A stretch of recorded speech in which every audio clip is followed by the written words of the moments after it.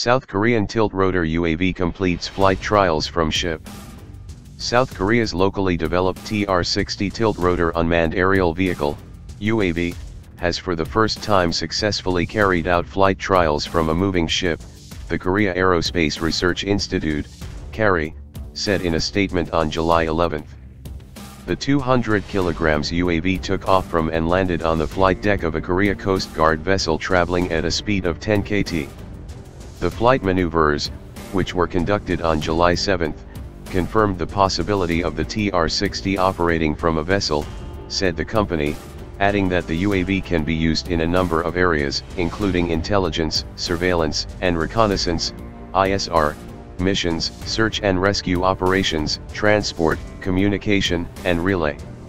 The production-ready TR-60 UAV was unveiled at the 2016 DX Korea Land Warfare Exhibition, held at the Kintex Convention Center in the South Korean city of Goyang. As Janes reported at the time, the TR-60, which is constructed from lightweight composites, measures 3 m in length as well as wingspan, and approximately 5 m from one rotor tip to another, and has a maximum takeoff weight, MTOW, of 210 kilograms, according to specifications provided by KARI. A 55 HP rotary engine transfers power mechanically to the twin swiveling nacelles, enabling the UAV to operate at a top speed of 250 km per hour at a maximum altitude of 14,763 feet.